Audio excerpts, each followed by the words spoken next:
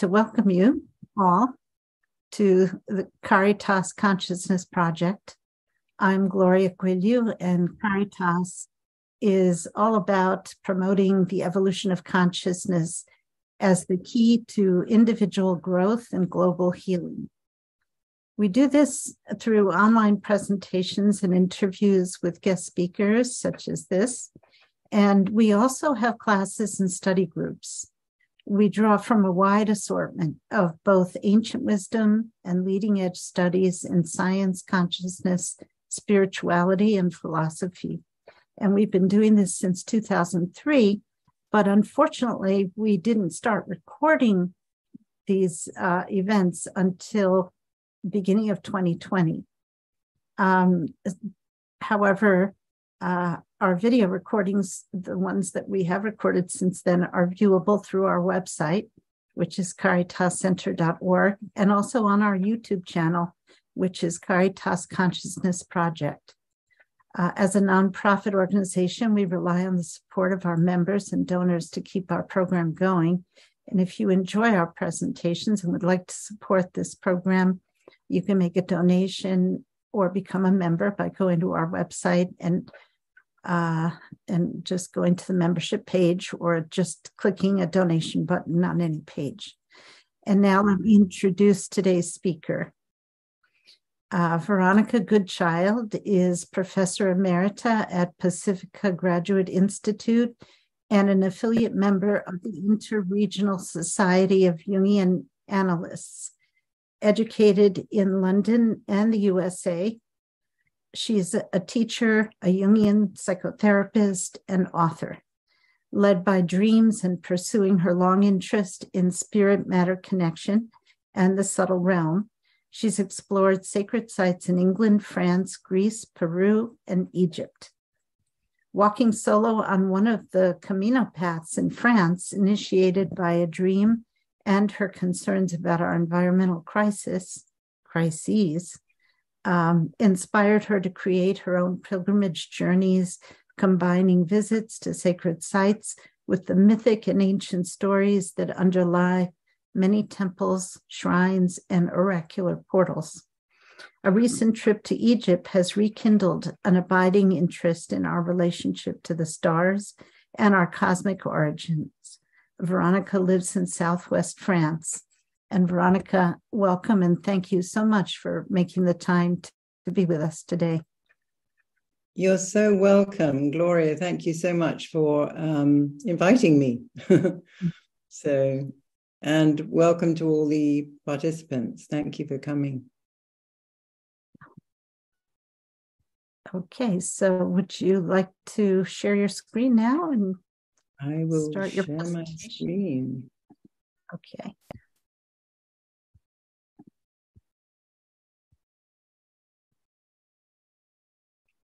Okay, is that working? Yeah.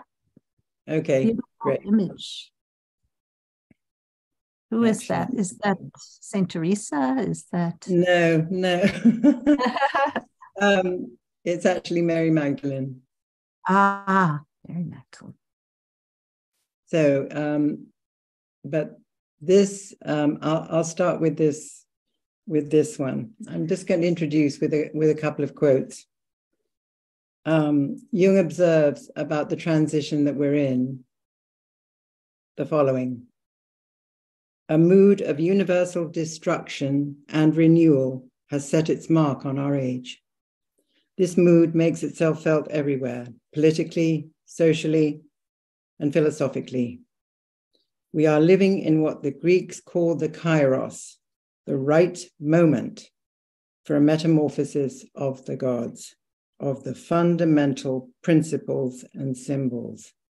So we're living in this extraordinary moment of everyone can see it across the planet. Um, huge uh, transition at the ending of one age and the approaching of the other, but this in between stage is clearly very difficult to navigate, both collectively and individually, very often. And here's what Einstein said. Einstein writes, imagination is more important than knowledge. For knowledge is limited, where imagination embraces the entire world, stimulating progress, giving birth to evolution.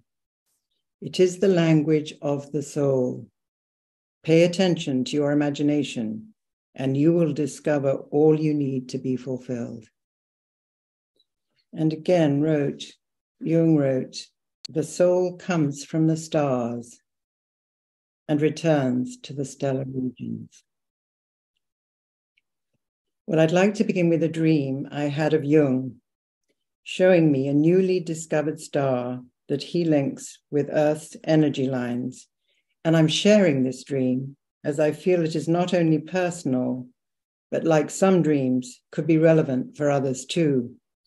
So as you hear it, listen as if it's yours and see if anything gets activated in you.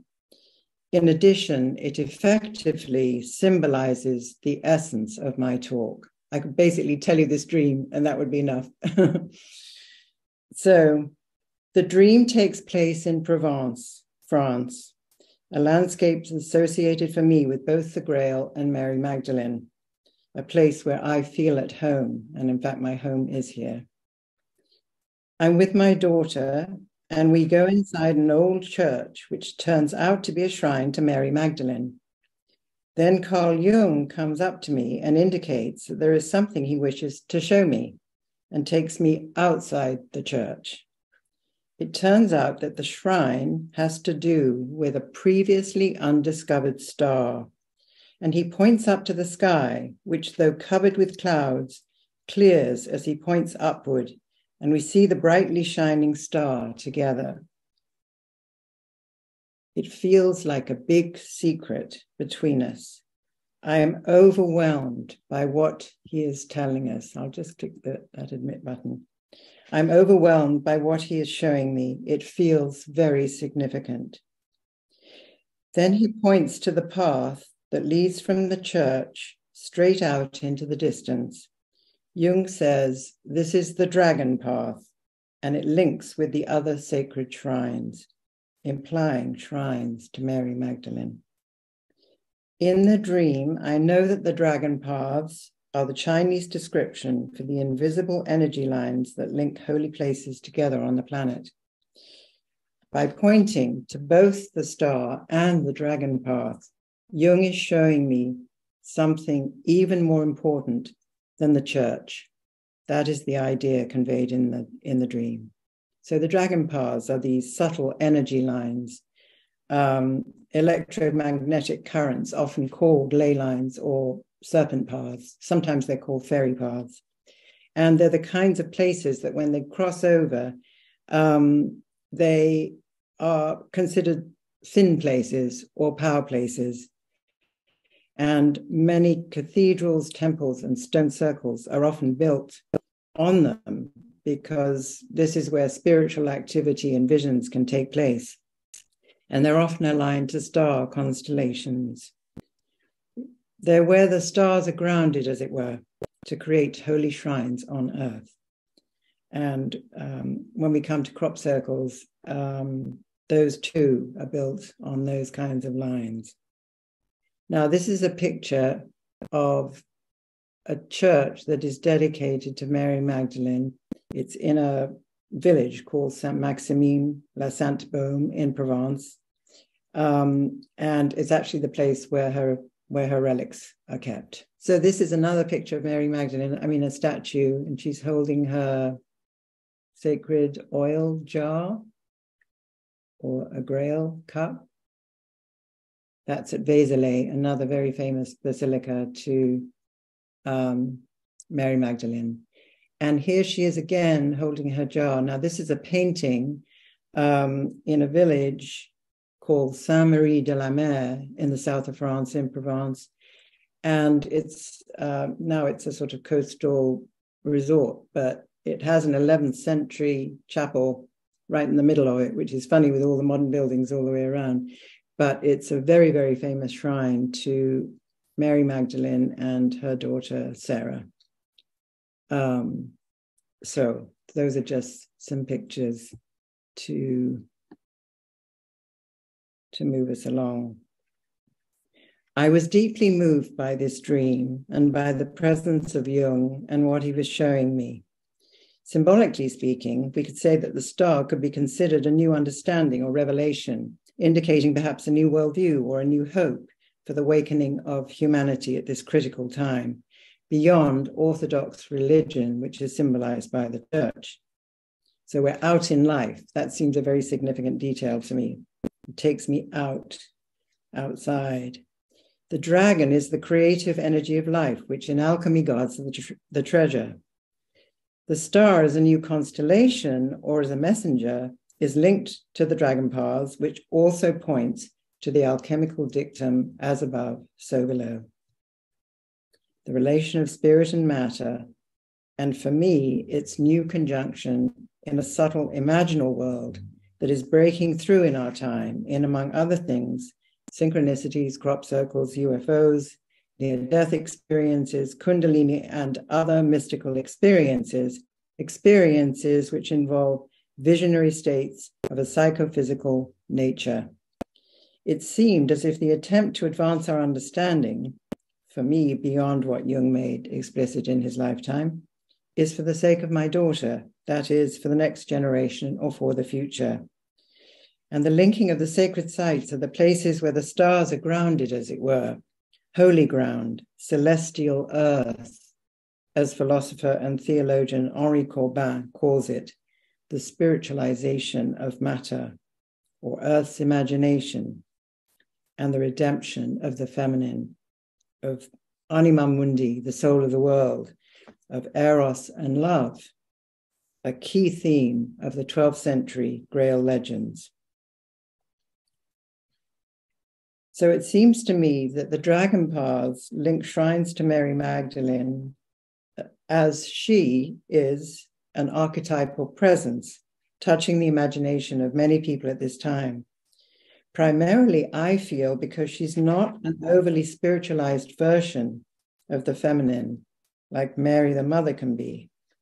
The Magdalene has a strong presence in France, supported by historical and legendary facts that she lived and taught here, traveling to Provence from Palestine and then Egypt after the resurrection of Jesus. She's honored in many churches and shrines in France, and even ones now dedicated to Mary the Mother are thought to be originally sacred to Mary Magdalene. And she's human. I think that's her appeal too. She loved and she lost her beloved and suffered a great deal. And according to the Gnostic New Testament texts, she was considered the main disciple of Jesus and most likely his consort or his bride.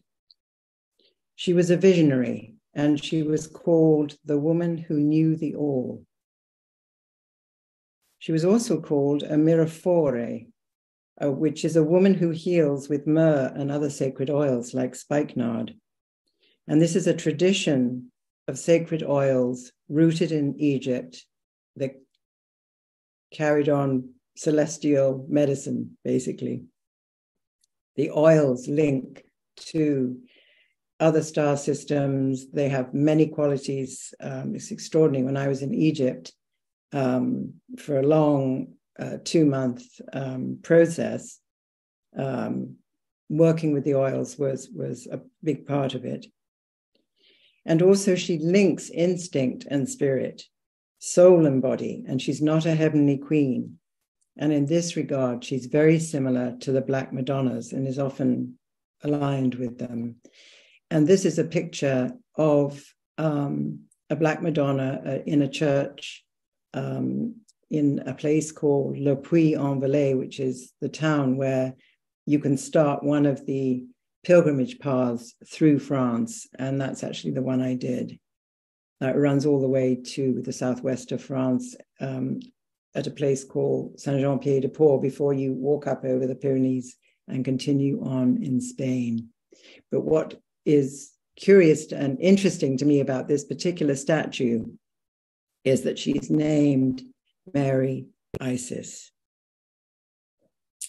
Um, and Mary was uh, an initiate of the mysteries um, uh, and the visionary imagination. And in this regard, uh, let's see, sorry, I've lost my place here. Uh, and there's a great example of this uh, in the book that was published in 2010, uh, which was the complete Gospel of Mary Magdalene, called uh, The Gospel of the Beloved Companion. It's a beautiful, it's, it's not in any other uh, uh, text, Gnostic text or anything. It's a, a vision of her climbing the tree of life and meeting at every branch a guardian and a challenge. So it's a, it's a wonderful, it's almost like a picture of Jung's individuation process or self realization, really. It's quite beautiful. Um, and so you're invited by this um, account of this extraordinary vision to face the challenges along the path of illumination and to become a creative co participant in service to the new unfolding story for our world. And um, as I mentioned, here she's connected to Isis, and Isis is the Egyptian queen um, of heaven, earth, and underworld. She's the major, uh, the, the Isis Osiris myth is essentially a death and rebirth myth, exactly like Christianity. And um, Isis uh, is related to Sirius, the star Sirius, uh, which is the brightest star in our sky and considered the sun behind our sun, our spiritual sun.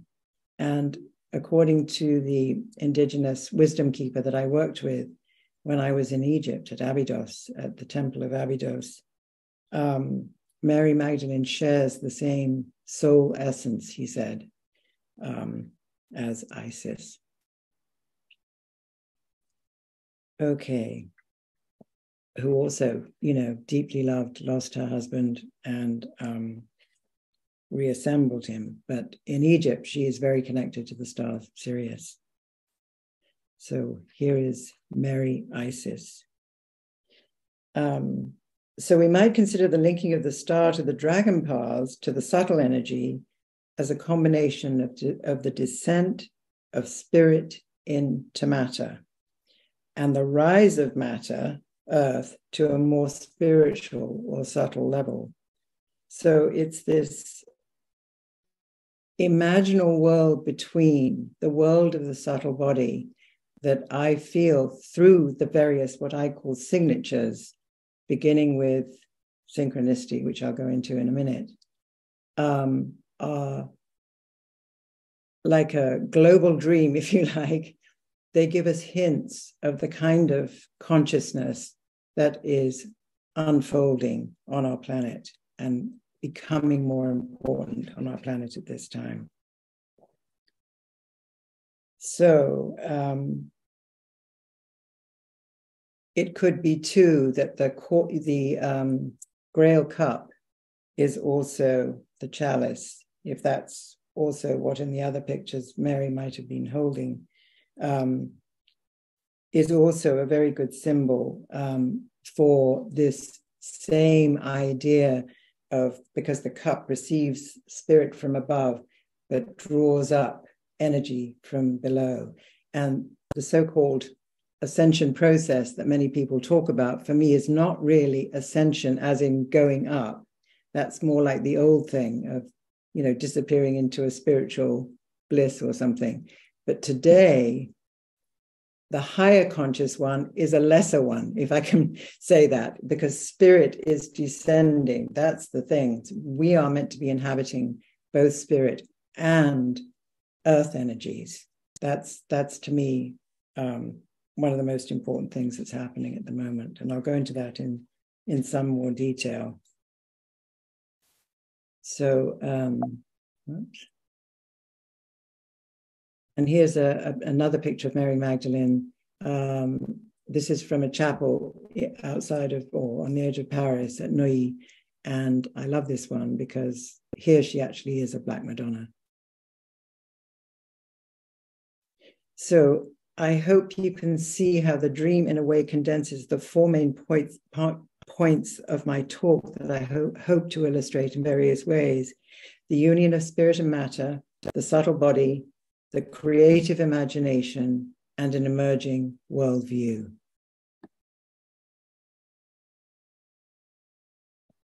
And here is the Grail Cup. You have the various Lancelot and Percival. You, you can see the various quote unquote knights around the round table. And here they're almost worshipping it. It's, it's an image of the mystery of the Grail, too. So, um, my dream, I'm going to move a bit into synchronicity here. Um, I, as I said, I mentioned the word signature. So I have these, I call them signatures. They begin for me with synchronicity, but synchronicity broadens into other things, which we'll get into. And I actually looked up the root of the word because it's quite interesting what signature actually means. And it means in its root the mark or sign of a companion that one is to follow. I thought that was really beautiful. So there, as you'll see, I, I strongly believe that such things should be followed. Um, and I'll get into that. So my dream actually constitutes a synchronicity because synchronicity at its heart, as you know, um, is a clue to the mystery of how psyche or spirit joins with matter or some event in the world. And my dream came just as I was about to send out my songlines manuscript out into the world, a book in which I explore synchronicity and how it leads to this subtle imaginal world through these different examples. Um, and also, it was a synchronicity that first made me realize when I really looked into the depths of what synchronicity actually is, is that this is the phenomenon that requires a new worldview. So I'll elaborate that a little bit as we go along. It has to do with this connection with spirit and nature. Now, speaking of which, this is probably uh, a slide that many of you are familiar with. It's described in different ways. Um, Jung shows this in his paper on flying saucers. It's, it's called there the pilgrim, the spiritual pilgrim discovering another world. Um, and so you see that she's on, on the ground, more or less, in this world, but she's peeking her head through what's called the window onto eternity. But here she's a great example of what's happening at the moment because she's rooted here, but she's also accessing a world that is very strange beyond it. Now, on the top left corner, you'll see two wheels connected and those are the wheels of time and eternity. And a synchronicity is, in fact, that moment where time and eternity erupts into this world. But you can see there are lots of strange things going on. And then, actually, when I was looking at this, when I was assembling my slides, I suddenly realized that if you look at the top middle, it looks like a moon. But then I thought, I wonder if things from the other side are coming into this side as much as we're coming from here to there. And I'd never actually seen that before. And I suddenly thought, no, it is a two way thing. That's exactly right. If that makes sense. I hope it makes sense. So we're going through a certain window, if you like, to anomalous or more extraordinary experiences, but that world is also wanting to reach us. I think that's the important point there.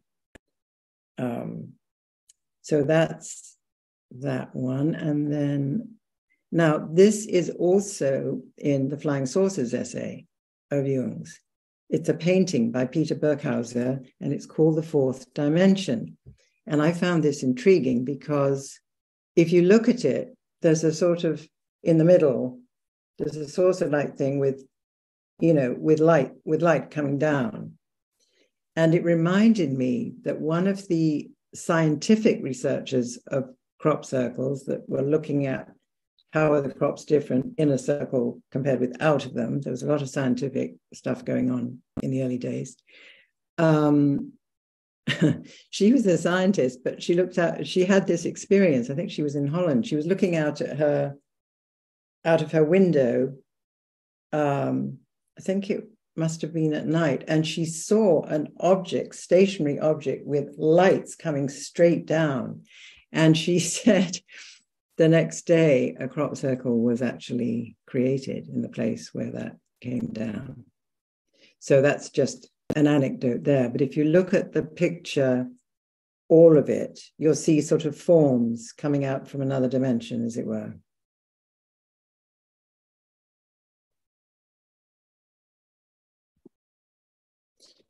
And here I'm, I'm, adding this one in at this point too, because it's one you're all familiar with, I'm sure Van Gogh's Starry Nights. Um, but, but I read that this painting came from a dream of his that he described as an ap- apocalyptic fantasy, in which he compares starry disks, which we don't normally see, see actually as bright as in the painting, um, to a group of living figures who are like one of us. So it sounds to me as if he had some experience of beings from another world that inspired this painting. I thought that was fascinating. Okay, so moving along, here's Jung. Um, so Jung, as as you know, uh, had many experiences throughout his life um, of synchronicity with patients and colleagues and friends, etc many discussions, and he, it, he finally published a um, paper about it, uh, which marked a new creative development, really, in Jung's th- in Jung's thinking, and it's it's one that he worked on a lot with Pauli or Pauli, I guess, Wolfgang Pauli, um, who was a quantum physicist and Nobel laureate, and they worked together. They met uh, because um, Pauli uh, was having personal problems, and he worked with, well, actually, an analyst before Jung, but he worked with Jung on his dreams, and he realized that his he had these amazing archetypal dreams, and he realized that um, his dreams were commenting and correcting his science. So um, they became their dialogue was extraordinary. How they worked on this psyche matter um, situation. Um, and this is what synchronicity draws us draws us atten- our attention to. And because, and I'm going to go into some details here, and I hope it won't be boring for you, but I really want to draw out the what I feel is important to really contemplate and know about the actual phenomenon of synchronicity. So it was very upsetting to write about this because synchronicity doesn't fit the causal laws of science. And that, that's why he calls them an acausal connecting um, principle. It's where a dream and an event in the world, or an event in the world and a dream, connect at a certain point. Now, each of those things, the dream, da da da da da, the thing in the world, da da da, is going. But the moment where they join, that is the a causal moment. You can't say one caused the other or the other caused the one. You just can't say that. Um, so uh, they erupt, as it were, completely spontaneously and unpredictably. You can't make them happen. Um, and in a sense, it was synchronistic that Pauli and Jung met when he was bringing depth psychology in in the 20th century, and Pauli was bringing in the new physics, but they were working together. So we have the scientist and the depth psychologist both living, as it happens, in Zurich. So they were able to meet. So synchronicity honors all the things that are not part of our paradigm, meaning the conventional, the one that's going out the door, hopefully, it's hanging on, but it's on the way out. Um, so with synchronistic events, they are unique, they are rare, they're not repeatable, and it leads to this aha moment, which is that double wheels where time and eternity sort of whoop, blip into our, and that's when we go, we notice it. it has an effect on us. And they're meaningful. And they normally happen at a particular point. That's called the kairos, the right moment. And that's really important to pay attention to as well, um, because we need to contemplate what is this saying about my life? And Jung said, you have to dream them forward, like the dream. He said, you dream the dream forward. He said the same about synchronicities. When you have them, you need to do something with them creatively, not just go, oh, that was a great experience, and basically go on with your day. So, um, and there's often a sense of, if not numinosity, the sacred breaking through, something like that. Um, and Jung called this breakthrough in his language the one world, unus mundus, the one world. And Pauli, from his scientific point of view, called it the psychophysical world. So, what they came to understand was that both psyche and matter are two sides of the same reality. And we hear a lot about oneness at the moment. It's this not only the desire for unity, but unity is expressing itself in these ways, if I can put it that way. Now, these kinds of experiences, um, I feel they dip into something that I call eros consciousness or eros awareness, because it, they balance thinking, they, they balance symbolic thinking with a more diffuse state of consciousness, if you really enter into them, that evokes often a very deep feeling response. Um, and they're really fateful. And the reason they're fateful is because it's something that's happened that is beyond your own will. Um, and that's really important. So it's an irrational, it's like an impossible thing that suddenly comes in um, and uh, invites our participation, invites our journeying with it, if you like, um, to create something new. This is really important. And the other thing that happens with a synchronicity is that often you have a feeling of you you know something and it's coming not from anything you've learned or anything any or that you've read or anything that's um, you've been taught, but you find yourself having these, I call it knowledge from the source. You can actually get that sometimes, that feeling when you go into deep meditation as well. So you things that you don't know, you know, arise to the surface. So here we have words like unique, numinous, subtle, eros, fate, impossible, co creation, source knowledge. Aren't these the words that come with the kind of experiences people are having these days? Seems to me they are. Pauli uh, felt that these this confluence between psyche and matter was a new form of mysticism, and he felt that um, that the exploration that he and Jung were doing uh, would lead to not only a further evolution of consciousness, but also of matter. And he felt this was really important and offered a counter position, position to what he calls the black mass. And that's the idea that acts of will, rather than eros or wisdom or love in science, for example, the explosion of the atom bomb, could lead to matter taking revenge and beginning to oppose humanity. Now, chatbots, my husband's re- reading a lot about chatbots, and it's been all over the news and how scary they are. I I can't bear to look at it because I don't like even the idea of them.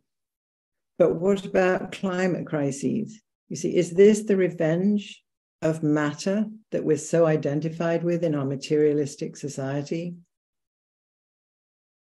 See, it's we've lost our connection to the sacred, and now matter is taking its revenge. Look at all the uh, climate issues um, and so on. So, um, you know, he had startling synchronicities, the war visions, for example, of the at the outbreak of World War One, um, his own near-death experience in relation to a heart attack, and uh, this led him into calling the the archetype, the new transcendent fact factor. He called it psychoid. That's a word I'm not particularly like, that I don't particularly like, but in, it includes this idea of spirit or psyche um, extending into matter. And the other thing with this is that we can no longer think of psyche as being within. It's not only within. You know, it's as if we're in it, like a field or an atmosphere, like a drop of water in the ocean. And so it's a moments where we experience the interconnectedness of all of life. Now, here is a picture. Well, actually, that's a picture from my kitchen window.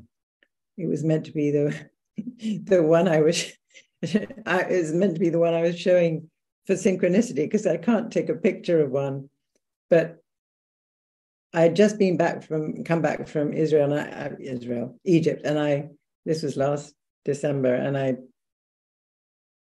looked out the window and I, I just had this mystical feeling about the way the fog and the everything was hanging together. It just struck me the oneness of everything. Okay. So now, um, very quickly, some ideas on the background, some historical ideas, because I think they're interesting. And um, so the background to synchronicity and the subtle body. And there's a, there's a quote from Pauli that I got from a friend of mine's book, um, Remo Roth's book, The Return of the World Soul. Um, and he said, What is still older is always the newer. So it's this idea that old things come back again in different forms, in new forms. So they're not really new. Um, there is a historical background, but they're called something else. And so here we see an alchemist with his goggles on, trying to follow Sophia, trying to find out the secrets of nature and other things. So this is um, a beautiful picture, and it says, "Let nature be thy guide. Let nature be thy guide."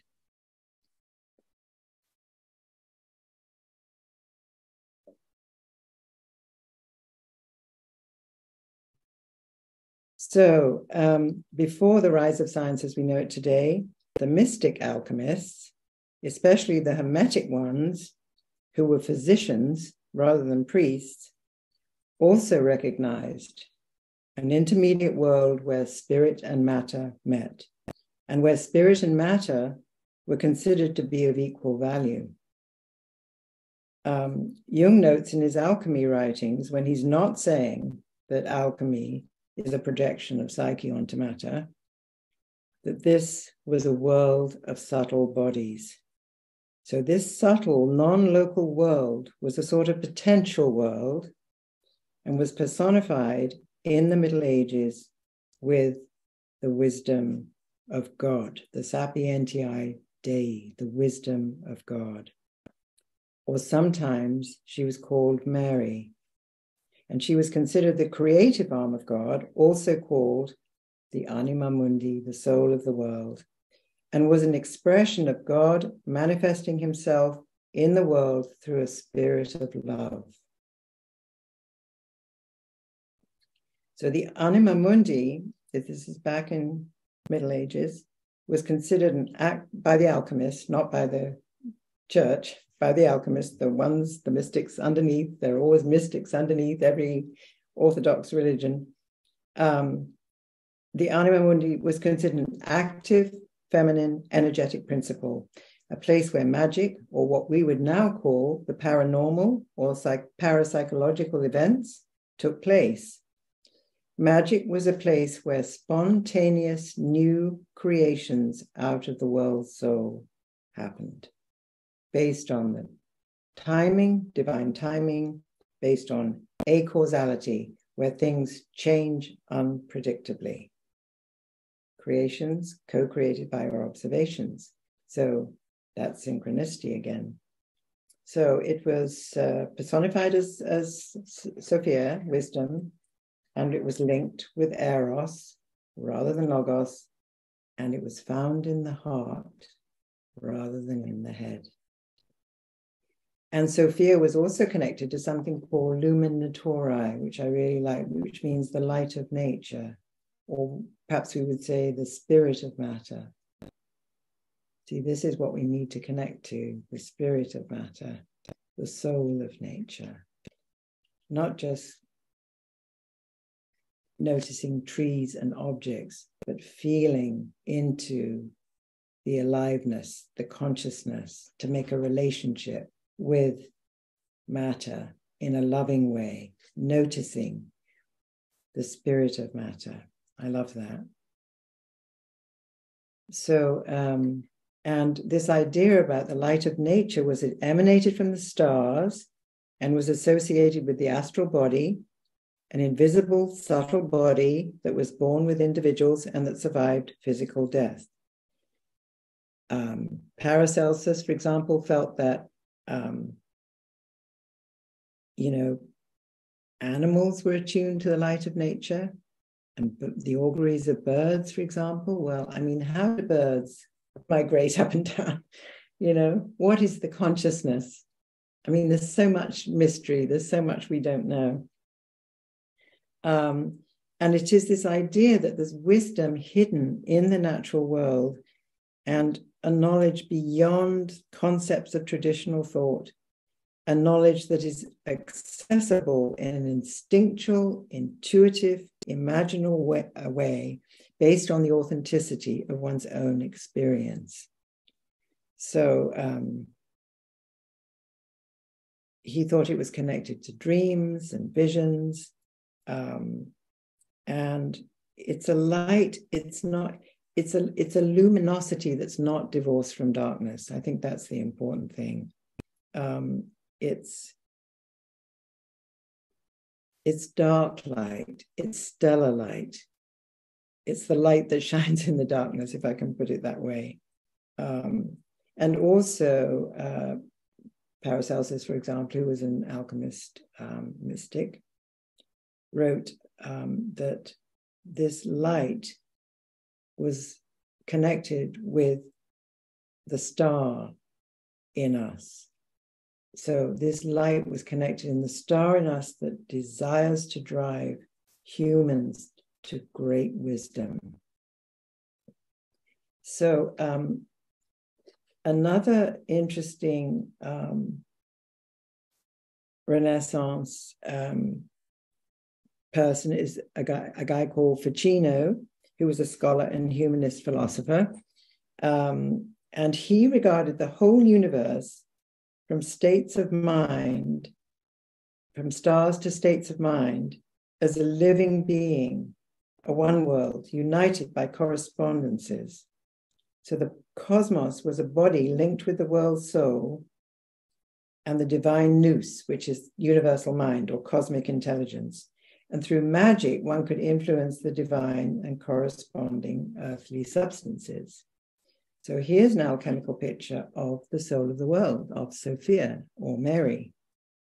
And the other features of his worldview historically anticipate Jung's notion of synchronicity because it was thought you know, that all of nature and the cosmos are alive and animated by soul. And a second feature is the world of the creative or spiritual imagination as the medium through which we can access this intermediate subtle world. And that through engagement with the imagination, the practitioner experiences transformations and transmutations.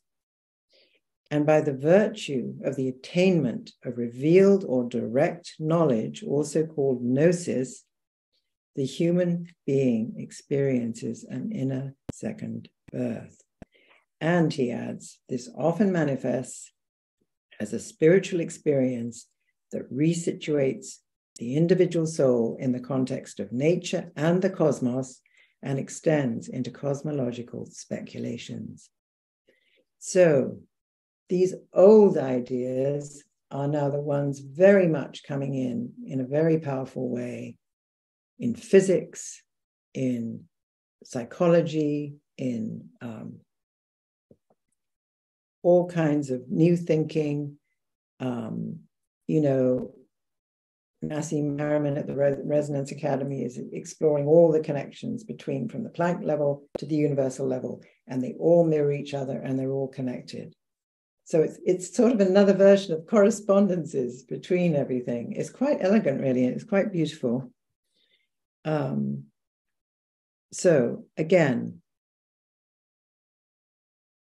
new we're having new versions of old ideas. So it at one point we were connected, but with the rise of science and matter and the materialistic paradigm taking over in the last four, five hundred years, we've lost that connection of everything being connected. And that's why it's such a mess. Because again, we've lost connection to the thread, the underlying unity principle, the world soul, whatever you want to call it, quantum reality, the zero point field, uh, the quantum vacuum that's really a, you know, plenum, a, a fullness, not an emptiness. All these ideas are returning because we need them, because we cannot go on. We're destroying ourselves. We can't go on not reconnecting to nature, not reconnecting to the stars. Now, here is a picture from Jung's Red Book of his guide, his guide that he called Guru and other things. And this is Philemon. And so here's a great example um, of a modern um, mystic who, through his own descent his own shamanic journey, his own creative illness into the depths, talked to guides, you know, confronted unbelievably painful difficulties, and so on. So, meditative dialogue, visionary journeying, transformation, and rebirth. And these paintings are very shamanic, they're very beautiful. See how big he is. He's got his feet on some mosque like building so he's, he's, he's this sort of huge, I suppose, angelic presence. He's got his snake in the background. Often appearing in dreams when you need to take on your own spiritual authority, the snake. But the snake also the symbol of death and rebirth and a host of other things. It's one of the oldest symbols. It's also about healing and wisdom and one's own darkness too. So here's another picture. Now, here's the dragon of our dream, if you like, the dragon paths, the powerful energy of the earth, guarding the treasure in the middle. Perhaps. And here's a picture of the world tree. So again, it's like a Renaissance picture, but it's a shamanic painting of a modern person, contemporary person. Beautiful. And again, we see the unity of the mysteries above, the heavenly realms, the biofield that we live in, the earth, and under the earth. Quite lovely.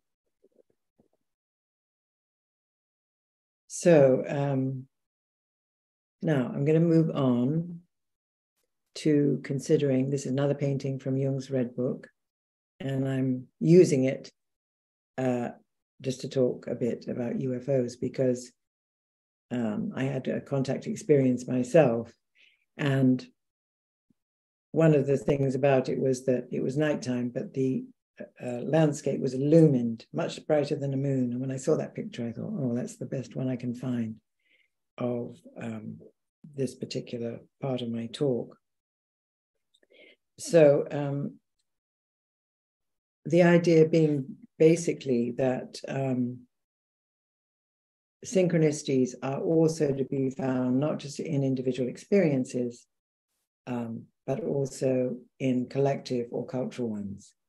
And I think they're very important for the reasons that we're talking about. Um, Jung was very interested in these phenomena, and he felt so. He, he did enormous amount of research, but he only published two two years before his death um, he felt that um, uh, that it was important uh, to to really try to understand what was going on here, and he felt that they such anomalous kinds of experiences appear at the end of one worldview or world, and in the interim between both. So we've got Pisces that we're leaving, associated with the fish, and so on, and um, Aquarius to which we're moving now. Um, and so he talked about them in various ways, but mainly he was interested in what do they mean. So again, it's this Jung is always looking forward, not only looking back, but what does it mean that these things are appearing? Here is um, a painting by a patient of Toni Wolff, um, who uh, was one of was Jung's mistress, I suppose, um, and she helped him through his descent into the unconscious that eventuated in the Red Book. Um, and I, I, find this very, very interesting um, because she not only dreamed of UFOs, but also of waving wheat beneath the water that Wolff and Jung felt anticipated the future and a new vision of reality, which they didn't understand. So here again, we have that interest in what is going on here. Is this an initiation? Is this um, an unveiling? The theme of the apocalypse, an unveiling. Um, is it to do with the new age, moving from you know, these were questions that they entertained. Um, and so Jung thought of them as sort of mandala images because often they're mostly round. Um, and actually, at the end of his essay, there's a beautiful story of a man, an American man called Orfeo Angelucci, and he puts that in that story at the end. And it's a beautiful story because it really summarizes most of the um, experiences that um, that experiences ha- experiencers have again a powerful exposure to a non-local realm. They meet ets or guides of the soul. They're often exposed to visions of our suffering earth. Um, they're described as really happening and not a dream. They're both intensely physical as well as psychical and beyond a sense of meaning, the participant describes illuminative experiences concerning the nature of the world and reality itself, often telepathically communicated by guides or wisdom figure. Um, then they often gain insight into um, issues of planetary, global, and often galactic significance. So they've been compared to Kundalini awakenings, um, near death experiences have very similar experiences, shamanic journeying, and so on.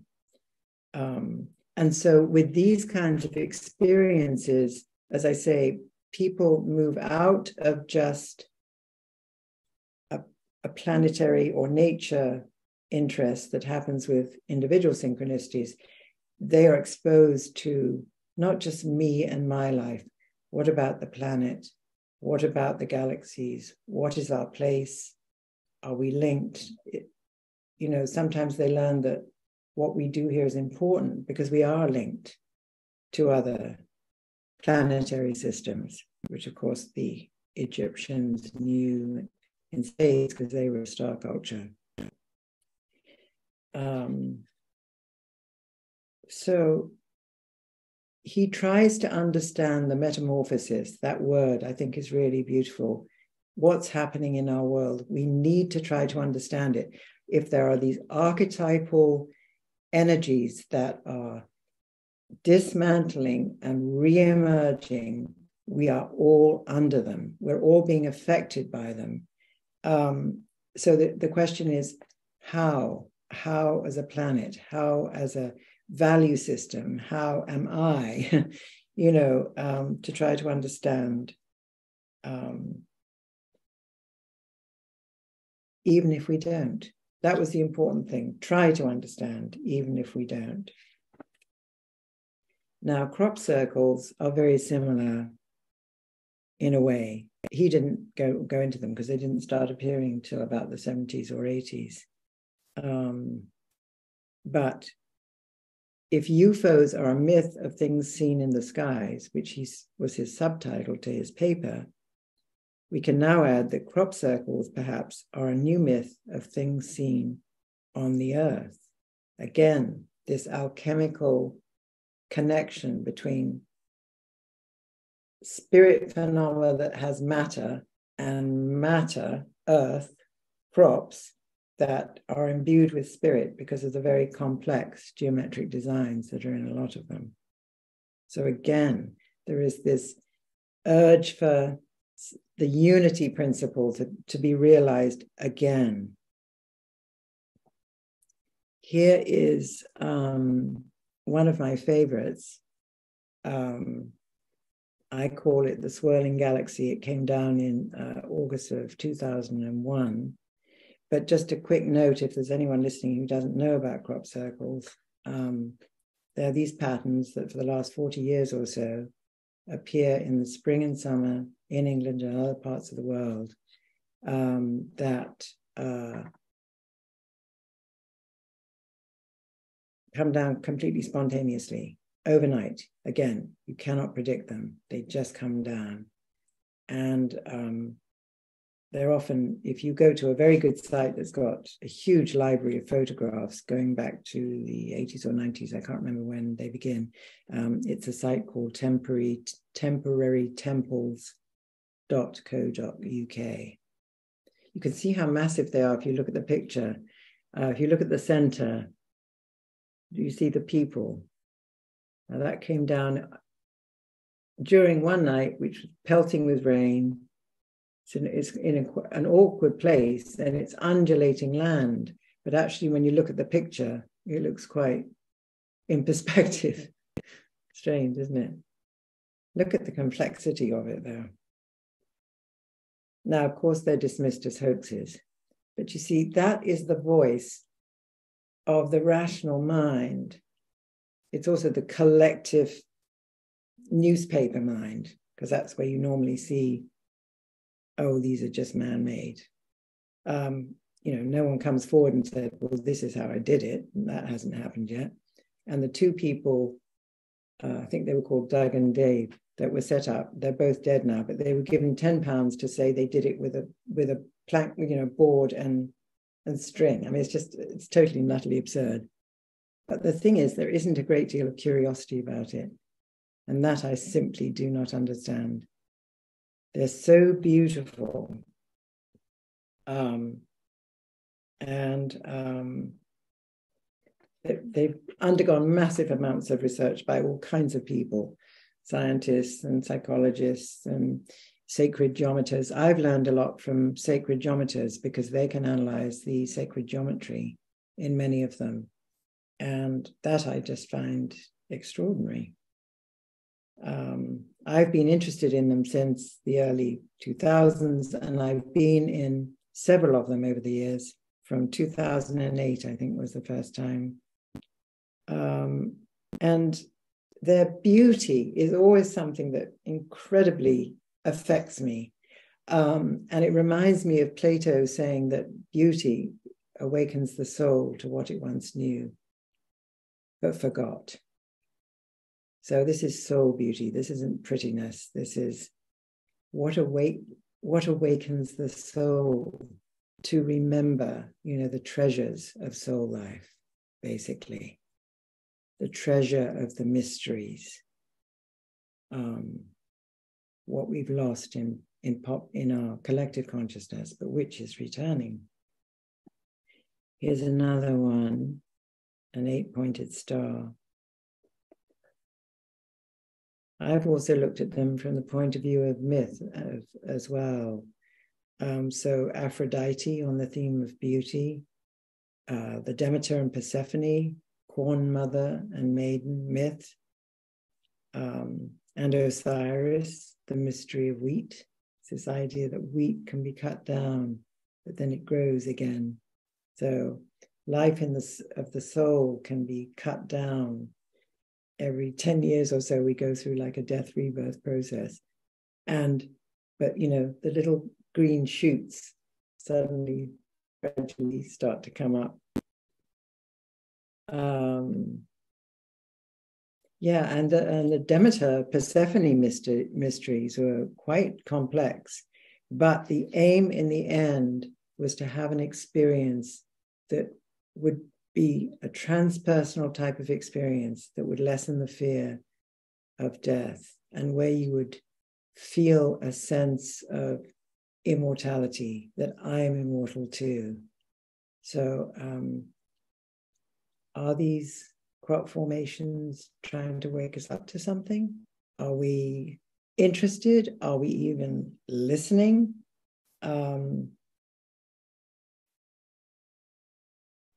So for me, these formations are the code, the glyph, the portal through which the golden energy chain of the ancient philosophers, alchemists, and mystics, and our soul ancestors in the stars are pouring this new vibratory star seeding gold as a pure gift to assist us in Earth's move to a higher vibratory reality of both consciousness and matter. You could say the earth is dreaming for all to see. And in its dreams, like all our dreams, our attention is drawn to what we're not adequately paying attention to in ordinary reality. That, to me, alone makes worth contemplating you know, it's worth contemplating them. You know, we get these free gifts. we get these free gifts. Extraordinary. So, also myself, I've, you know, because there are so many complex geometries in these formations, more recently, I see them as light codes from the stars and that they can be oracular portals. So what I what I've encouraged, what I've done myself and what I've encouraged others to do is to look at the library of pictures from anywhere, any year. And if there's one that really speaks to you, you can use it as a mantic tool. You can use it like a tarot deck or, you know, um, like an I Ching reading or something like that.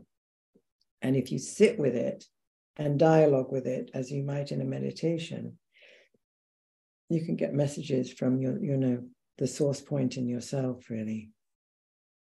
Because they are around, they are mandala like structures. And, you know, the circle, after all, is one of the most ancient symbols of the divine.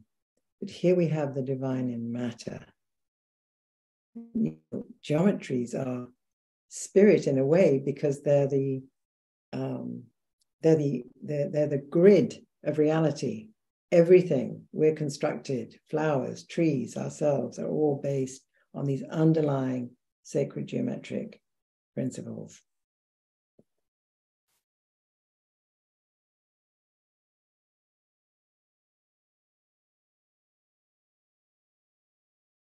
So, in a way, you could say it's like experiencing Sophia too, like in the medieval personification of the soul, the spirit of nature was feminine, it was creative. The feminine principle, matter, because earth matter is always connected with the mother, with the feminine, because she provides everything we need And also, it's not unusual for people to have paranormal experiences when they're in a crop circle, and that can be heightened emotions or not feeling well. Sometimes healings are reported. Um, I had an interesting experience myself back in uh, 2012. I went into a formation I couldn't find it from where I parked my car on the edge, and I met a group of people on, on the way toward the formation. And when I, so we were sort of chatting in a casual way, but then when I got to the formation, I, I said, okay, I'm going to go in and go my own way now. Um, the minute I stepped over into the formation, I had I was just utterly filled with unconditional love. It was deeply moving. I felt my heart, my whole body was just filled with unconditional love. That only happened once. But telepathically, the the the um, the message was that it was made by Sirians. It was like Sirians. We, we Sirians made this wasn't said like that. It was just it all happened in one in one go. Very beautiful. So that stopped me in my tracks really. I thought, oh, there's really something here that needs to be paid attention to.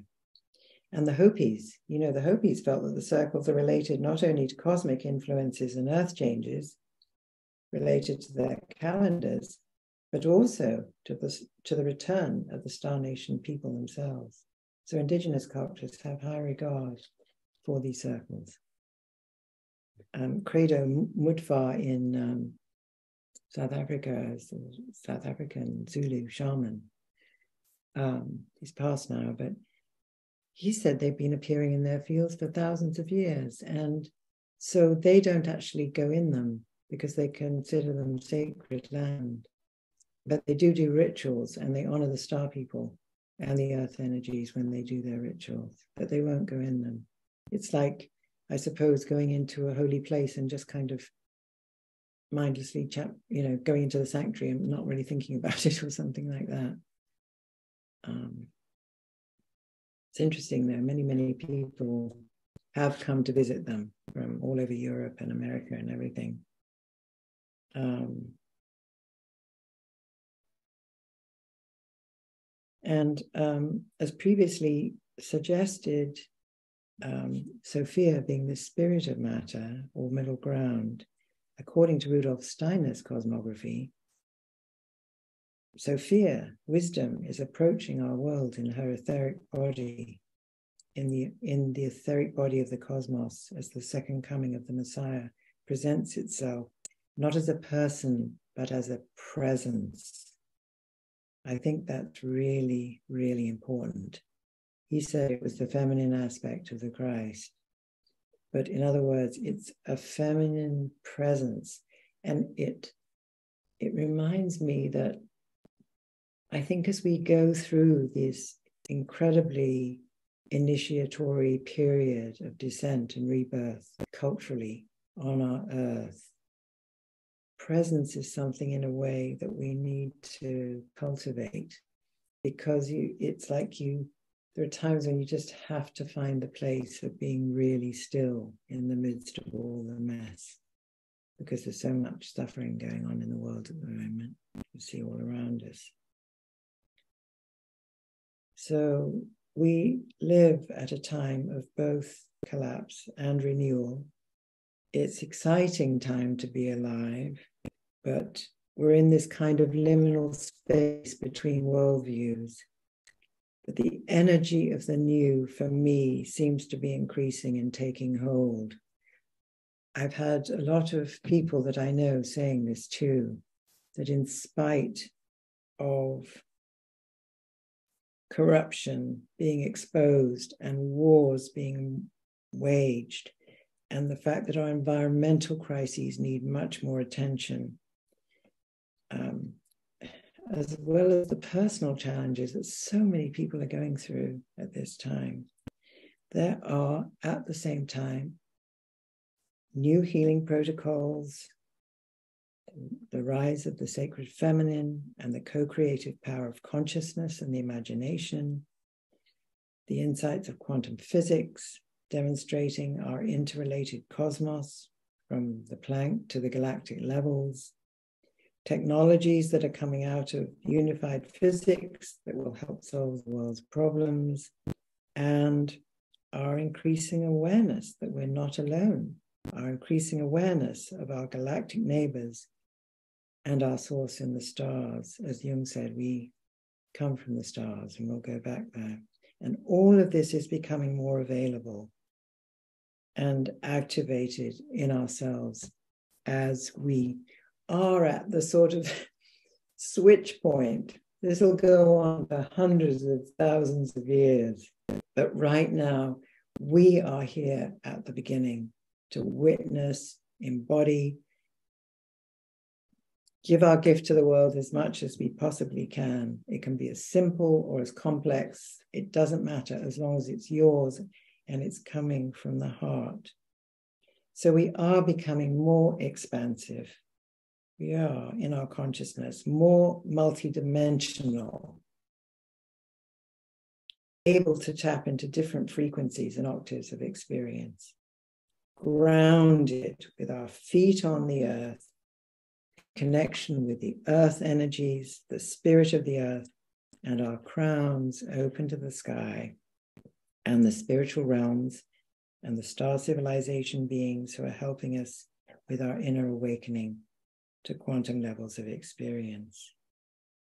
And perhaps most fundamental of all, non ordinary experiences are, with their deeply transformative capacity, are leading us from insight to greater illumination and showing us how the anomalous and the paranormal must once again, as Jung said about synchronicity, be included in our vision of reality. So these signatures, these signs of a companion that one is to follow, signatures, lead us from complex emotions to genuine sorrow and authentic joy. And they are helping us open our hearts in ever widening circles to self and beyond, to community, to the earth, and to the stars. And we're restored to, if you like, a cosmological myth, one in which we, we can become the spokespersons for the invisible and the invisible ones.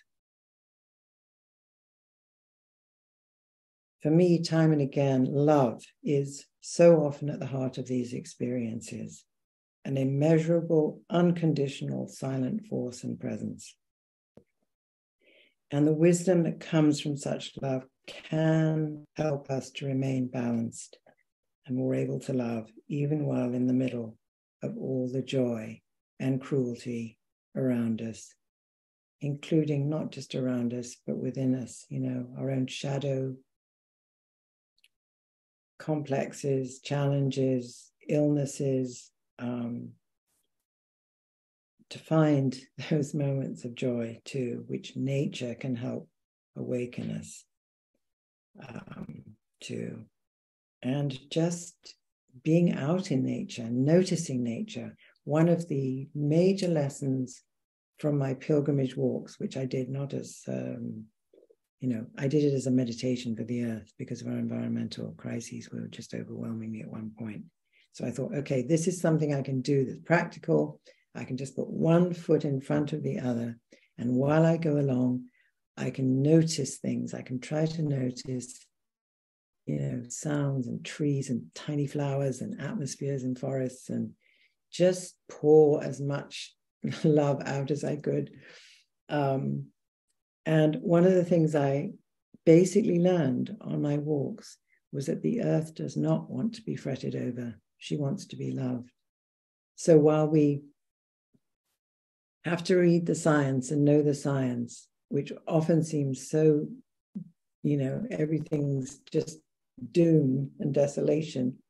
Um, but my reality in walking was that she also wants to be noticed, like any relationship. She wants to be noticed, she wants to be acknowledged, she wants to be loved. And in fact, a pilgrimage walk is considered a Compostela, Compostela, Camino Compostela in Spain, in France, and other places. Compostela means a walk under the stars, a soul walk. So it's a soul walk that you undertake. You know, you go with all these problems, and about halfway through, because you're so exhausted from walking great long lengths every day, all that just fades away. It all, you forget, you forget what all, all your problems are, and you just then you just have this experience of the spirit of nature, the Anima Mundi. It's a felt experience, that subtle world between up there and down here. It's brimming all around. We're, we're in that ocean all the time. Um, so, you know, inner work that is essential and um, time spent in nature and with the spirits of nature um, as practices um, really help to stabilize the energy of change and the wider arc of consciousness in our bodies, in our physical bodies. So I think all these experiences can also connect us to the infinite and to find meaning in our lives and how our own path relates to the meaning of the unfolding cosmos and our place within it, or at least to search for this, especially at such a challenging time as we find ourselves in today.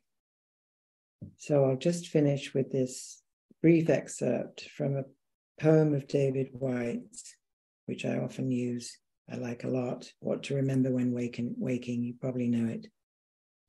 Perhaps we could say not only what to remember when waking, but what to remember when awakening to the new me that we are, um, that we are coming to uh, experience today in all its signatures.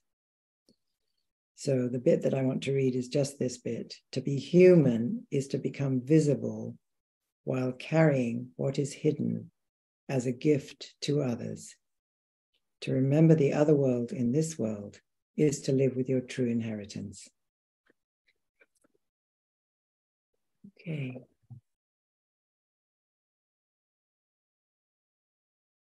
I'm afraid I lost track of time and I have no idea if this is a good stopping point. It feels like it is. Uh, it could be. It could be. Um, so uh, you want to open up for questions then? Absolutely. Questions, comments, okay. feelings, anything, sharing. Okay. Maybe uh, maybe stop your share so we can see you better. Oh yeah. Somebody okay. just wants to be admitted, so I'm just going to click that. Uh, I I just admitted them. Oh, you did. it was on yeah. my screen. Hang on a minute. Okay.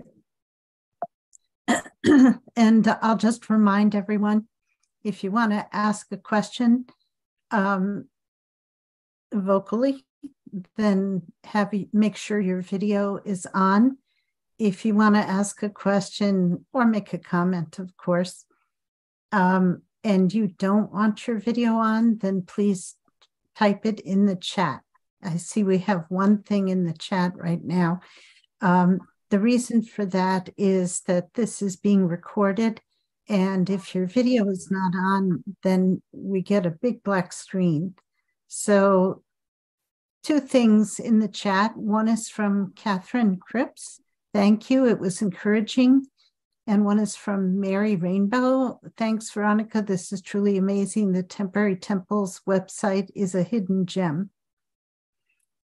So, uh, and I see a few hands up. So, Karen Adler, would you go ahead? Oh, yes, it's just a very quick. I just want to ask what was the name? I missed the name of the poet. I'm so sorry. I know this is not a very intellectual question. Sorry, Veronica. Um, the name of the poet was oh, David. David. there's, there's no rules on anything you say. Um, David Whyte. That's W H Y T. Yeah. W H. Sorry, W H Y. Y T E. T. Oh, lovely. Thank you. Thank you very much. That's all. Thank you very much. for A wonderful talk. Thank you. Uh, really Jane, inspiring. Jane, you have a question. Your hand is up. Um, yeah. Veronica and Taria.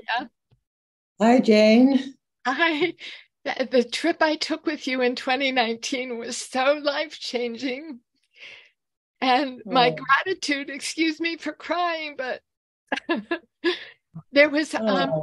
a, a, crop circle that I went into the first day that I arrived in England before I met you and, and before I joined your group that that was completely like that the minute I, w- I was in there the unconditional love and and the healing of uh, like all trauma was removed i knew it happened but i was no longer in its grip.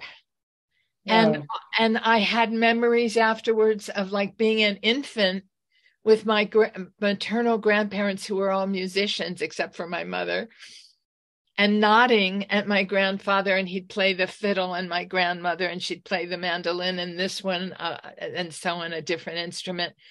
But it was it was an experience of true innocence before i got damaged and i also uh, it also took away my jet lag as if to show me this really happened so um Wonderful. and, and that so was glad. the beginning and it went on and on um, and I, my gratitude to you, Antaria, is just immense. I left a writing group and a and a poetry group after not at some point because it wasn't touching anything that was in this new world. And mm. I went back, but uh, on a different footing. Mm. And um, yeah. I've written you letters I haven't sent, so I'm blathering now. But it's lovely but, to see you, and thanks for sharing that, Jane. That's that's really wonderful. Yeah, well, it, magic happens. It mm-hmm. does, and it's and it's so long lasting, and it affirms every every other thing. Great. Every Great. other preceding one, and mm. following one that follows. Well, we certainly had adventures on that. on that journey. The, the journey that Jane is referring to is um, a pilgrimage that I led in that was connected to the sacred landscape of England. Um, and the myths that we were looking at were essentially the Grail myth uh, and the early Christian Gnostic myth, because um, Joseph of Arimathea, uh, Jesus' uncle, uh, came to uh, Glastonbury with Jesus and, you know, huge entourage to undergo the initiations into the Druid um, mythic system. And Joseph of Arimathea, who was this sort of rich merchant, um, built the first Christian church on English soil.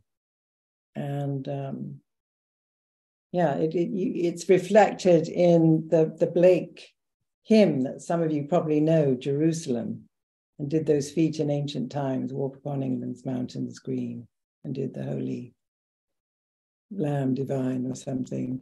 Um, uh, and so Blake, who was a visionary as well as an artist, uh, also uh, subscribed to this view that Jesus indeed walked in the green and pleasant lands of England. And my grandfather, my paternal grandfather, um, also believed this idea, and he, and people in my family just thought he was nuts. Um, you know, that's absurd. He didn't, you know, he lived in Palestine. He didn't come to England, sort of thing. Well, now we know he went to India and all kinds of places um, to uh, undergo initiations in different spiritual traditions. This is Jesus and Mary Magdalene I'm talking about now, and a ho- host of others, um, uh, including going to Egypt and the initiations in Egypt. But they also came to England, and um, so that's a, a huge imprint into English sacred soil for me. And Joseph of Arimathea also took two cruets of wine from the crucifixion and buried them at Chalice Well. At least my research said that. I mean, yes. how how he got there, who knows? But but also that he went to he oh no, he was imprisoned for that, and and Jesus went to him and explained a lot of the mysteries while he was in prison. Mm, that's right. That's yeah. These are the legends. There's so there's sort of historical documentation, but with all of these things, there is legends as well. It's the same with Mary Magdalene. There's a lot of history that is almost proves that she went, lived, and taught in in Provence after the and actually came down through the Languedoc, which is where my husband and I live, um, down in the southwest, which is the so-called Cathar country, because they were a Gnostic Christian group here in this area um, between the 11th and 13th centuries. Um, and they they were horrified at the corruption of Rome, and they wouldn't have anything to do with Rome. And so they just used Mary Magdalene's gospel, that's now just been uh, well, 10 years ago, um, released, the uh, Gospel of the Beloved Companion, which, if you're interested in, in Mary Magdalene, um, is an astounding document. Um, there were fragments of her gospel that were found before, but this this one was intact because the tradition that holds this document in its original knows that it came from the first century, and um, they've had it in their tradition ever since. And uh, there are new members of that tradition that are that have come to live here again now, actually. Um, so, uh, but anyway, they were they were there was a terrible genocide. They were all got rid of by the church and by the assenting beings in France, the king or whatever, because they they they just went along with the Pope because actually the, the French just wanted the land because it's so beautiful down here. It's flourishing, um, sort of uh, countryside, farm, farming, vineyards, that sort of thing. Very beautiful anyway, I'm going off. Any more questions or comments um, or feelings or anything? There's a comment in the chat from uh, Marion Freiberg saying, So beautiful, Veronica. Your talk opened me to and reminded me of threads across my life about Western esoteric wisdom. Thank you for all you are revealing to us at this vital point. And Thank there's you and there's a uh, Alain, you have your hand up. Thank you. And thank you, Veronica, for most inspiring and beautiful presentation. I love the pictures. And uh, I did follow Mary Magdalene in various places in France at one time when I was still in France, that uh, where she was at and was very inspired. You you mentioned the Hopi, and I'm studying now what can be learned from the indigenous wisdom, not just in the U.S., but all around the world.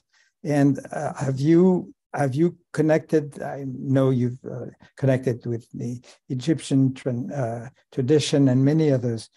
Do you find something in the indigenous tradition that uh, corroborates what you are seeing uh, from the other sources you have looked at? Especially oh, the uh, relationship with that's, nature that's, and sorry i interrupted you. No no that's all right. Thank you. Um, my first exposure to an indigenous person was in my mid 30s i'm in my early 70s now. Was in uh, the mid uh, my mid 30s so it was the mid 80s Mm-hmm. And um, I had an extraordinary experience with her. She was part of the Seneca Indian tribe of New York State. Yeah. Uh, I was living in Connecticut at the time, but she would do readings for people um, in New York City.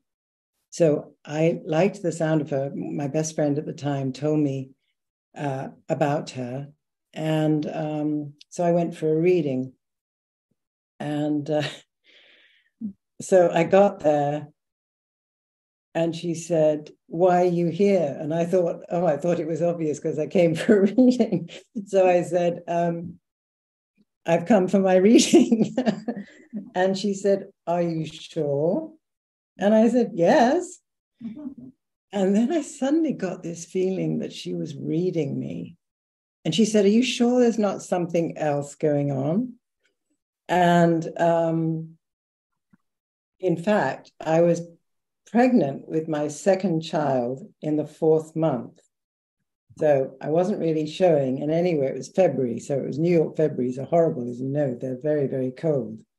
So everyone was bundled up, sort of thing. So you couldn't see um, from that physically. So, um, so, and the thing that was actually bothering me was that because I was 35 at the time, and according to all the doctors, completely over the hill, that I was having a second child, which is absurd now, obviously. I mean, it's just so totally ridiculous.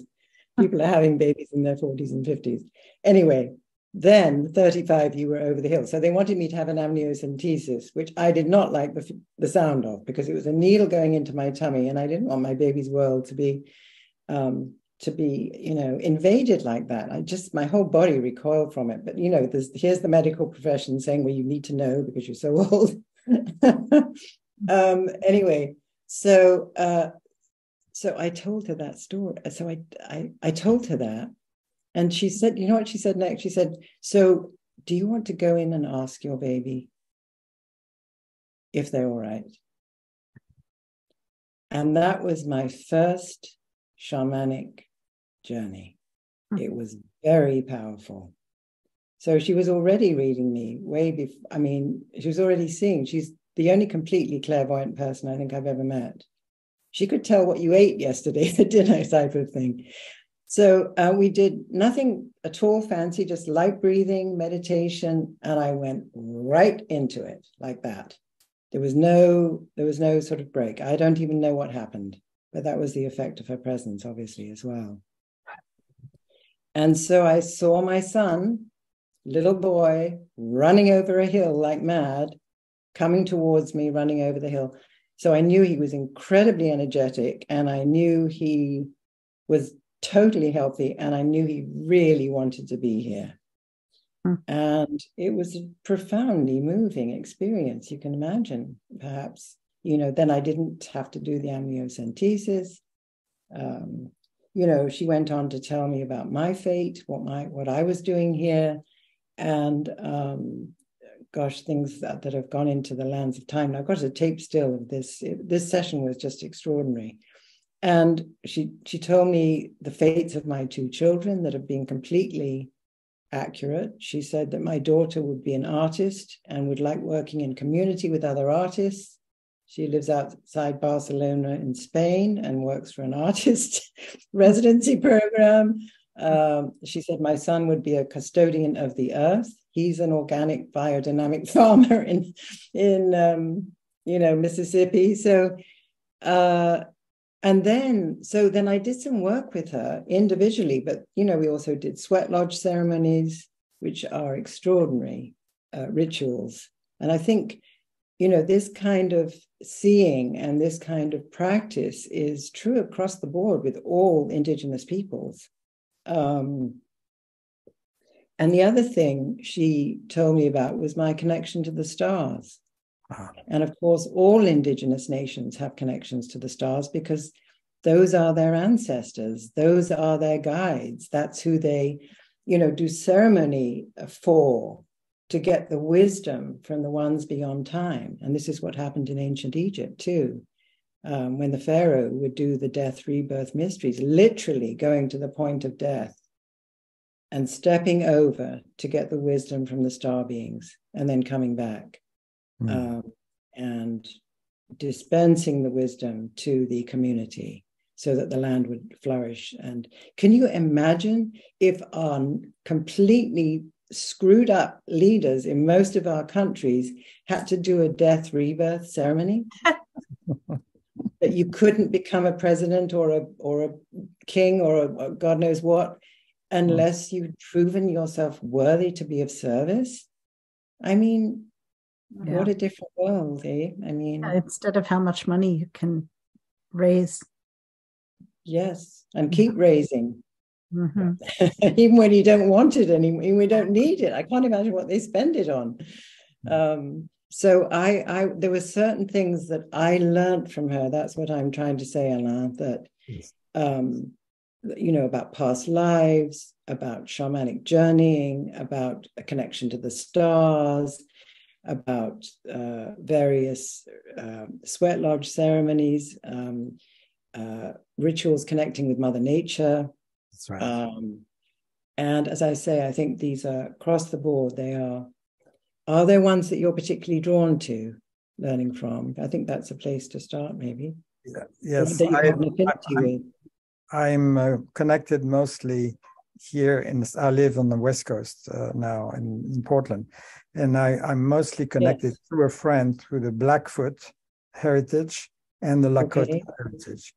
And this, yeah. I find that they are very, and it's so interesting that also the convergence between uh, uh, modern science physics, as you said, uh, quantum physics, and the uh, uh, and and and the indigenous uh, understanding. In fact, David Bohm, you may know that, said that the, uh, Blackfoot, particularly because he was in touch with them at the time, uh, had a much better understanding of quantum physics than most of his colleagues that were, you know, from the traditional sciences.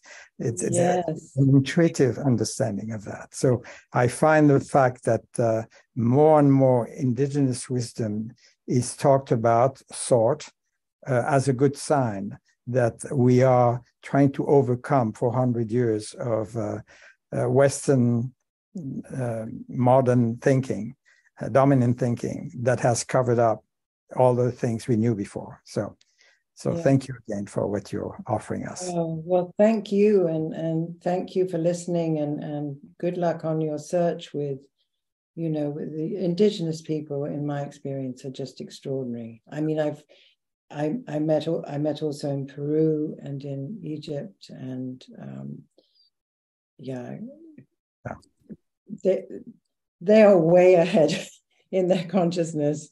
Yes, so it's where we need to go exactly. Yeah, and we are we're together with a few friends putting together uh, what we call a regenerative elder process, so that elders, modern elders, can actually uh, uh, continue growing as elders while also offering a different type of service to society than they have in previous in, in their life.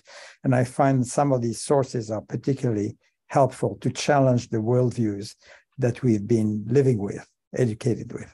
Absolutely, because the the old people are the elders. They are the wise ones. They've had the life experience. You know, yes. People say when we retired, um, in 2015 from our teaching positions, people said, Oh, what's retirement like? As if, you know, I was going to go and play golf or something for the rest of my life. I mean, you know, you go on growing, you go on learning, you, you have you continue to have change and and it just takes another form. Yes. And um, but old people, especially in America, um, you know, when you're old, you're marginalized. It, it's incredible. You're not wise. You're just you oh. you're almost encouraged to become kind of stupid. You know. Um, yeah. we should get rid of the word retirement in my book. It should be, as you said, regeneration, regenerative. I love that. That's a beautiful word. Mm. Yeah. Thank you. Thank you. Um, I have three three um, people in the chat. Uh, Charlie said, "Thank you, Veronica, for illuminating this beautiful vision of the way before us and giving us stepping stones for the journey. Um, Nina, Nina. Oh, yeah, it's Nina, not Charlie, but it says Charlie. Um, and Alex said, Thank you for such a beautiful presentation. And Robert said, So beautiful, insightful, and heartfelt. Thank you. Thank you very um, much. I have a question about the crop circles. Are they diminishing in number? You know, that's a very interesting question. Mm-hmm. Um, I mean, short answer is yes, they are. And I actually have a theory about that. Uh-huh. um, one thing that my indigenous teacher, the one I was talking about, told me was about the so called ascension process. So, this was the period from the, for those of you who can remember, the, the so called harmonic convergence of 1987, July 1987, to 2012. And this was considered by indigenous calendars cross culturally to be a time when the earth would decide whether it was going to go into an ascension process.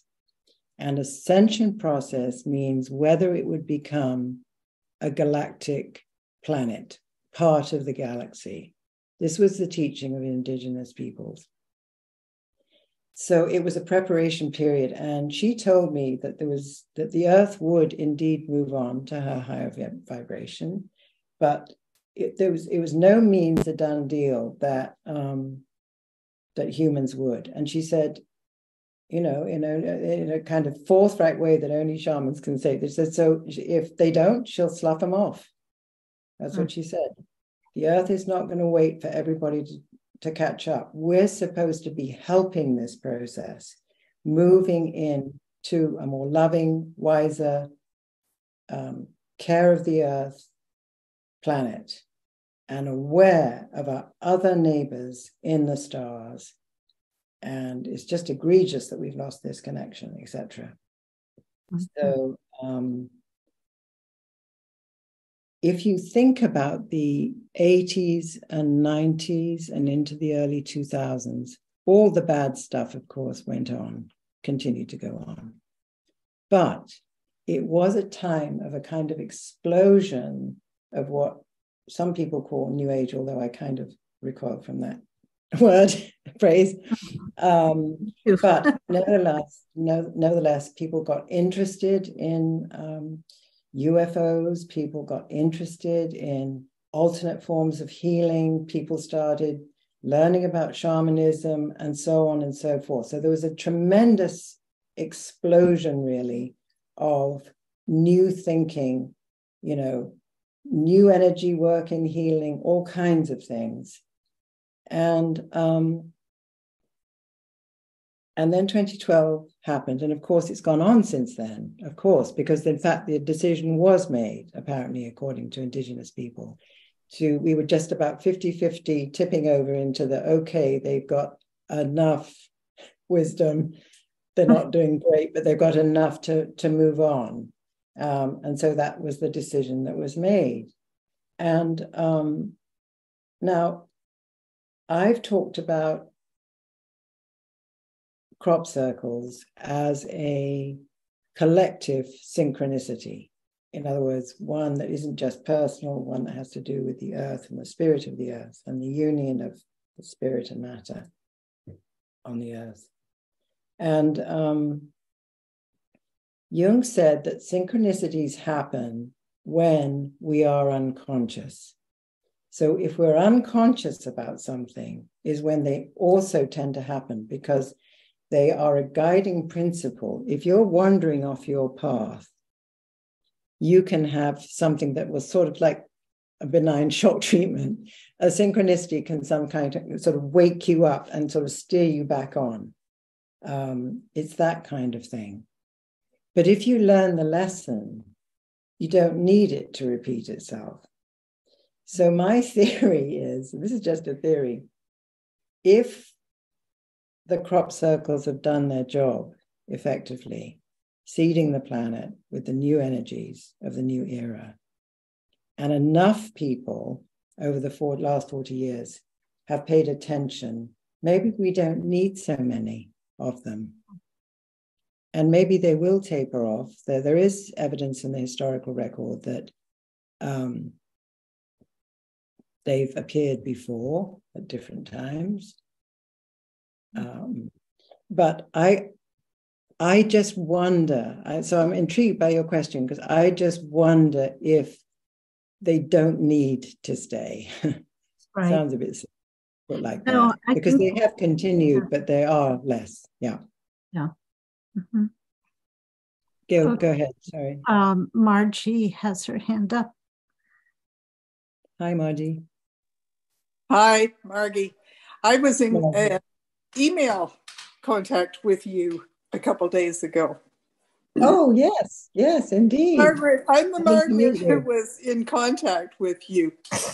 Um, I want to thank you um, for starting with and for sharing your dream and for really showing, um, you know, how dreams can open us to so many different realities. And the big dreams are really not just for us personally, but um, they're for the collective. Right. And how they can show us what's going on. And uh, my dreams have been guiding lights, and some of them through the years. And some of the, many of them are personal, but there's those ones that you never forget that um, really go beyond and are so much bigger. Yeah. And um, like I had one when I first arrived in Zurich to study at the Jung Institute, and it completely, you know, I still remember it. And it's one of those things that had to do with the whole rise of feminine consciousness in our mm. world and the change. Um, anyway, um,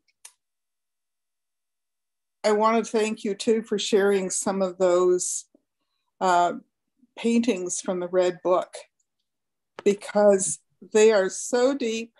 They reminded mm. me of experiences that I had in dreams years ago. And I mm. remember a Jungian telling me that, you know, I was in my 20s and I had the psyche of a woman in her 50s. And I was wondering, what do I do with all this? you know, mm. and it's been an ongoing discovery and led me down many pathways. But um, well, I'd like to acknowledge my friend Taria, who on, on my screen is is to your left because she's she has a dream symposium that she runs every month, um, oh. and also she knows a hell of a lot about uh, David Bohm, uh, Anna. So just so you know, I okay. keep trying to persuade her to do a course on it, and I haven't succeeded yet. I keep badgering her to do an online course on David That, that would be great. Oh, that, that would be great. Nice. Yeah. Anyway, sorry, I interrupted you, but she on my That's all right. I don't really have a question. There was just some of those things that you included in your talk and your yeah. experience of being in a crop circle, you know, and the, the, the numinous, luminous mm. um, healing yeah. experience that you and so many have had. I have a friend mm. who's very into crop circles and um, with the society. I haven't had the experience yet of going to England and um, being in a crop circle, but I would real, uh, but I feel very drawn. Yeah. Well, look at the images. Um, because of the internet, one of the good things about the internet is that on temporarytemples.co.uk.co.uk, there's a massive um, uh, photographic library. So you can explore them that way. And as I said, I've used them as um, oracular tools, and I've done it quite a bit. And I've encouraged other people to do it too, because, yeah, you, you I, I always think with the one that strikes you, the picture that strikes you, the formation that gets you here, you know, that's the one that wants to interact with you. Mm. Has the information, the light code for you at this particular moment in time. That's how I, anyway. If you use them that way, if you can't go in them, that is another way to relate to them for sure. That is a fascinating way that you suggested of, of relating to them. That speaks to me. Great. Well, good luck. And thank you for sharing and, and thank you for your emails. okay. Uh, Thank you. Yes, Robert? Robert.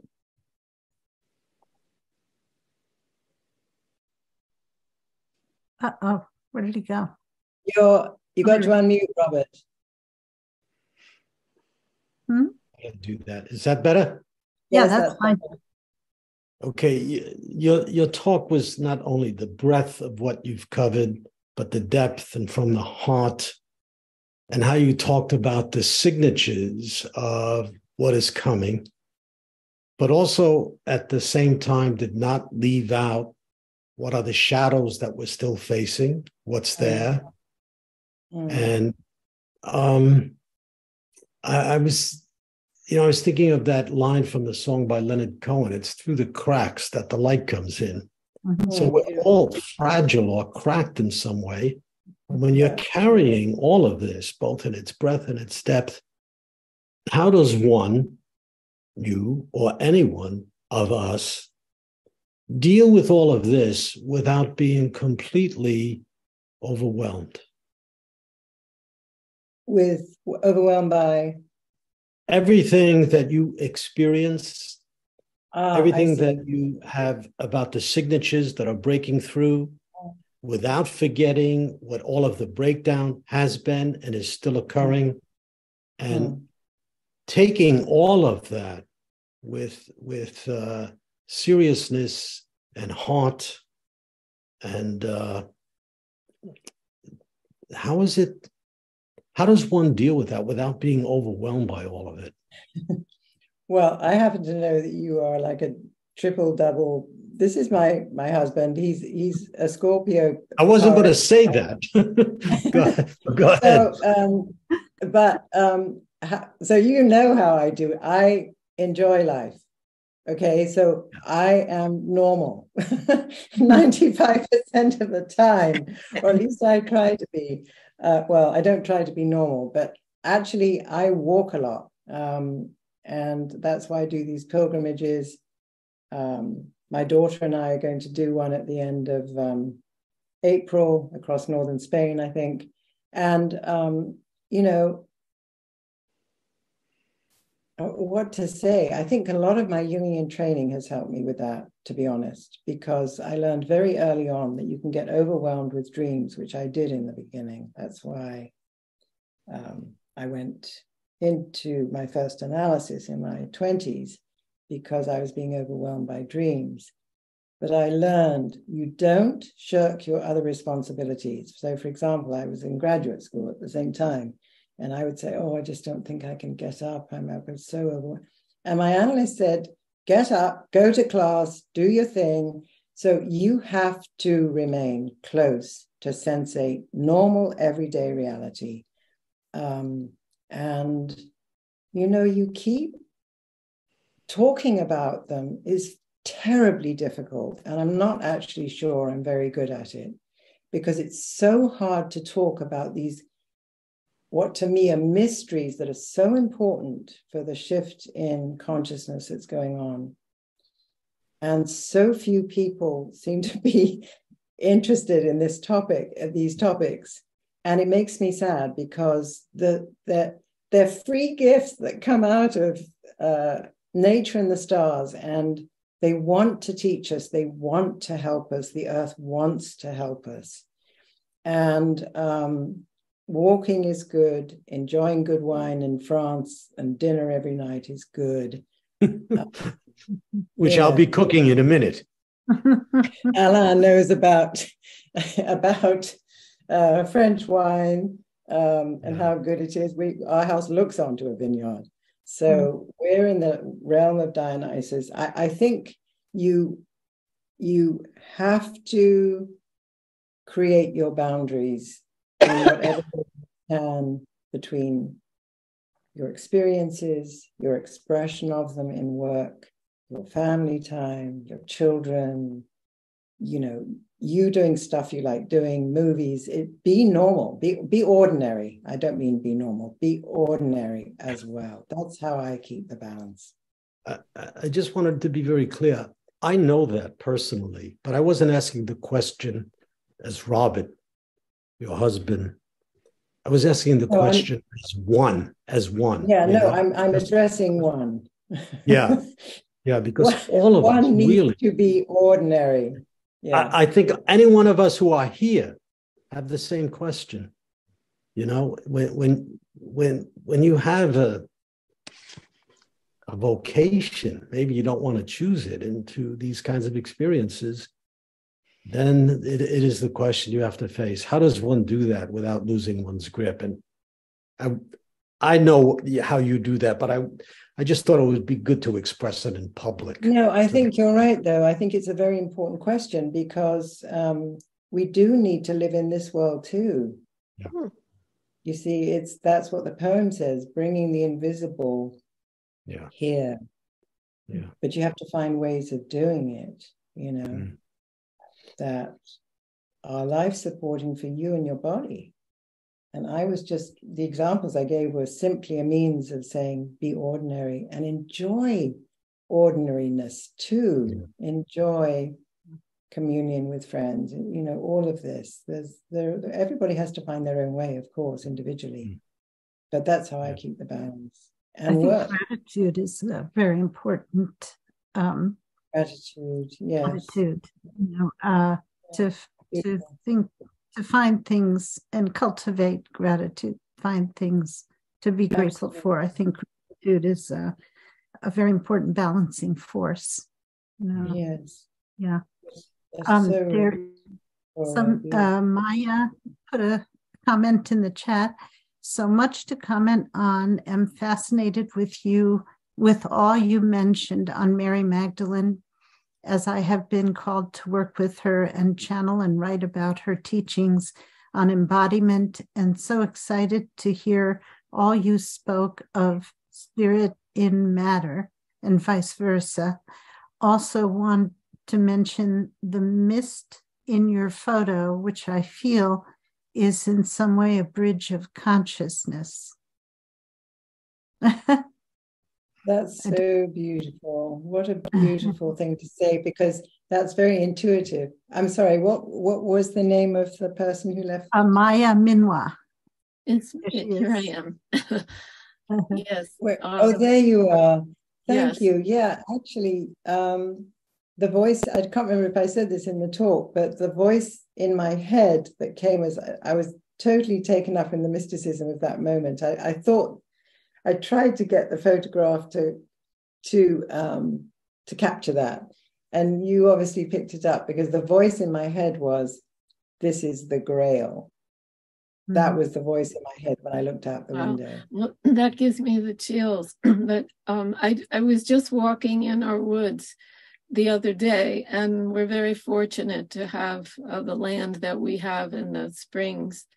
And um, I kept, I couldn't stop looking at the mist because I heard uh, a, a, weather report that said, well, because of our climate change, we're have we're seeing more mist in the winter. And I thought, well, uh, we're supposed to be seeing it because it's changing us. Uh, to me, when you drive through a fog, or uh, and of course it's the word mystical, and mm-hmm. so that that was so moving to me that that photo because it's very to me it's a consciousness that I connect with literally and um, be, because of the liveliness of our woods we haven't done much to change things and you can feel that consciousness every day mm-hmm. and yeah. um, that is and and what the the magdalene was asking me to bring through was actually a book um, that she called the eight the eight points of awareness and it was all about it is all about um, everything you mentioned on the spirit in matter and matter in spirit. And it was all her her what i was fortunate to bring through um, the channel was uh, exactly that uh, connection that um, that is going to bring us to another level of yeah. of honoring matter and you Mm. can feel it the practice is quite simple and profound at the same time and but i so loved all that you uh, the the photos with the jar and the images um Oh, I got so many of them. beautiful and that you Mm. don't really see of her in that way and that's the her that i see um, because i'm also an alchemist with uh, oils. And so i she literally uh, tapped me on my shoulder one day. And Mm. um, i feel like that alchemy connection is so important with oils. And it's I've, I've been working on something to understand what if we uh, don't have those fragrances can we just work with the spirit and of course it's a big yes that that is what we work with. So i've i've learned so much and i so appreciate your expressions of the subtle and everything that you talked about. It's just gave me chills half the time. So thank you. Thank you so much. Yeah, the, the Magdalene presence is very, I don't know how to say, it's very special. It's um, just a quick story. Um, when she actually came to me first after I had a big dream, one of those dreams that I, it was in 2016, and my life has been completely altered by this one dream that I can remember so clearly and um, but working on the dream i did some shamanic journeying because it was a powerful image but i really wanted to get more specific about what the meaning of that particular symbol was in my dream. And um, so i started this uh, and she was the first one that came in. It, it was of a grail chalice coming out of the sea the dream. There was a kind of vision. Wow. And uh, but I was asleep. But um, so I, when I opened up to well, what what is what does this mean? I'm not sure I put it exactly like that, but um, the first figure that came in was was Mary Magdalene, and she said to me, "Follow the blue rose, follow the path of the blue rose." And um, I didn't know what she was talking about, and then she disappeared. That was it.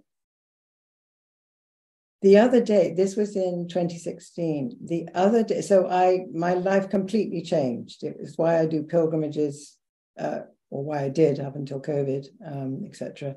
But um, and I learned so much about her, like you probably have as well.